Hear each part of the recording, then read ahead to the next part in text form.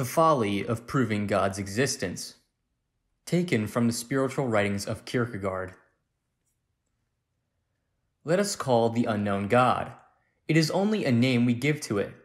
Now, it hardly occurs to the understanding to want to demonstrate that this unknown exists. If, namely, God does not exist, then of course it is impossible to demonstrate it. But if he does exist, then it is also foolishness to want to demonstrate it for in the very moment the demonstration commences, you would presuppose his existence. Otherwise, you would not be jinn, easily perceiving that the whole thing would be impossible if he did not exist. One never reasons in conclusion to existence, but reasons in conclusion from existence. For example, I do not demonstrate that a stone exists, but that something which exists is a stone. The court of law does not demonstrate that a criminal exists, but that the accused, who does indeed exist is a criminal. Whether you want to call existence an addition or the eternal presupposition, it can never be demonstrated.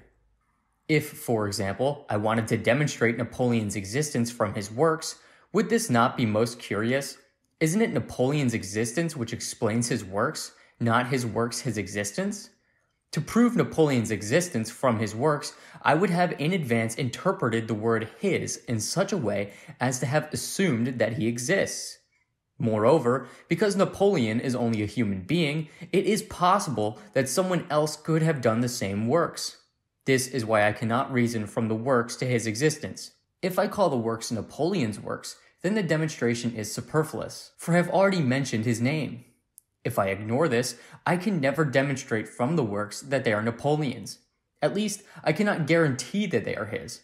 I can only demonstrate that such works are the works of, say, a general.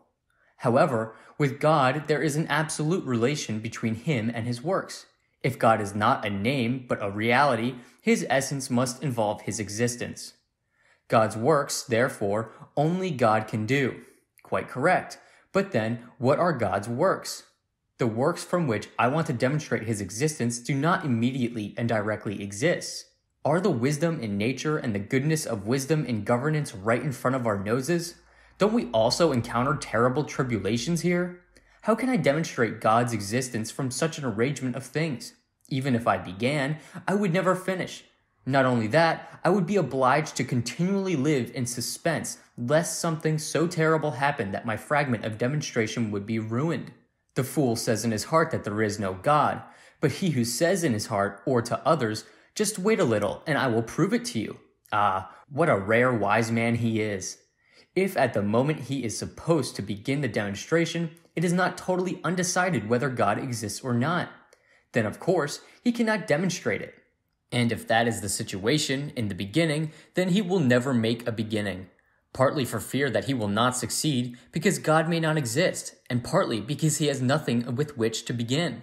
In short, to demonstrate the existence of someone who already exists is the most shameless assault. It is an attempt to make him ludicrous. The trouble is that one does not even suspect this, that in dead seriousness one even regards it as a godly undertaking. How could it occur to anyone to demonstrate that God exists unless one has already allowed himself to ignore him? A king's existence is demonstrated by way of subjection and submissiveness. Do you want to try and demonstrate that the king exists?